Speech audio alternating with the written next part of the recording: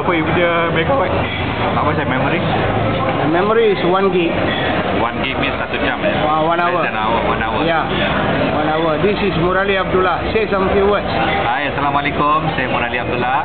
Uh, saya ingin mengucapkan selamat hari raya Aidilfitri. Aidilfitri Aidil Adha esok. Semoga uh, kurban apa pun yang ada. Jangan- korban diri sudah. Kurban darah dah. The comedy director. okay, can I ask you a few questions? Yes, sure. Ah, so Alhamdulillah, this is uh, Murali Abdullah. He is a Malaysian drama and film director. So he is a new Muslim. Can I ask you about what make you decide to become a Muslim? Saya sebenarnya masuk Islam kena kahwin. Ah, lima tahun, ah, tiga tahun memang tak ikut Islam. Memang anti Islam habis-habis. Sampailah saya bermimpi Nabi. And then saya pun tak suka Islam juga. Sampailah saya pergi operation jantung saya in 1999. Selepas itu banyak benda yang berlaku dalam hidup saya. And then terus saya jumpa dengan Siti Raza.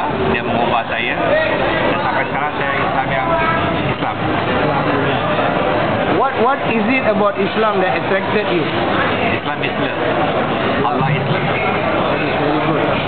What advice would you like to give to the Malays and the Indian Muslims here? Jangan takut Tuhan, cinta Tuhan.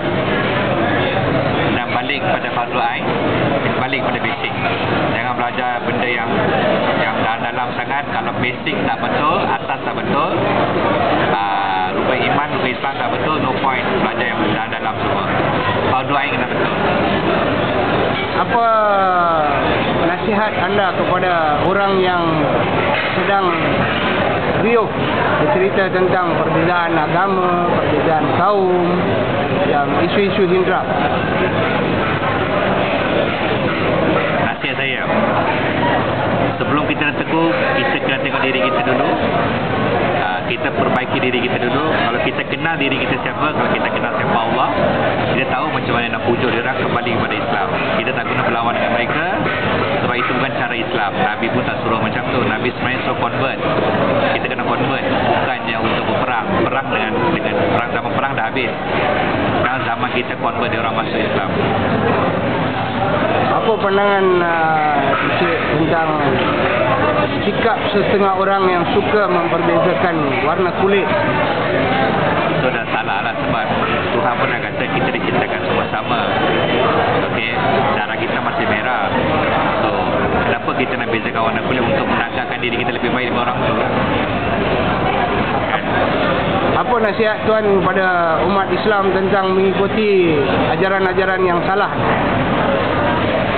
Itu itu dia orang cari penyakit lah. Dia orang nak masuk neraka pergilah kan. Tapi untuk mereka mungkin itu ajaran betul.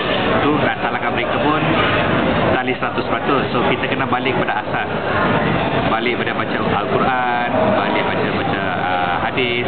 Dan kita balik kepada rukun Islam rukun iman. Dan kita kena balik kepada semua benda-benda asas fardu ain kena betul. So once you start to read all those things dan kita kena baca pasal kisah Nabi Muhammad juga macam dia dapat dia, dia dapat wahyu sampai dia makan. So daripada situ kita tahu yang mana betul dan yang mana salah. Sebab Nabi Muhammad pun tak pernah sampai nak tinggal semayang tak pernah benda-benda lain semua. So kenapa kita dapat benda yang melebihi Nabi Muhammad? So, any final words to the viewers watching this? To Malaysians especially. love each other manusia lain sebab Islam bermaknanya serah diri kita kepada Allah dan bila kita serah diri kita kepada Allah kita kena cinta kepada Allah bukan takut pada dia Thank you very much for your time, brother. yes no problem All the Bye-bye. best to you. Thank you. masuk blog lah Yes.